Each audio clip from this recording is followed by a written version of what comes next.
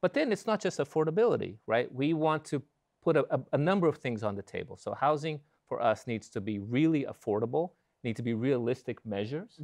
Uh, it needs to be permanent. So part of the problem also is that often low lower rent housing is not stable or the evictions are very high. Uh, low income people get evicted very, very frequently, and we know that's not good for anyone. It needs to be inclusive. So we need to really think who is this housing available for? Uh, people without documents, people with prison records, for example. We need housing that's clean and healthy and environmental in some way. So in New York, for example, we have a huge problem with housing conditions on a separate research we've identified. You know, one in four apartments in New York has a code violation.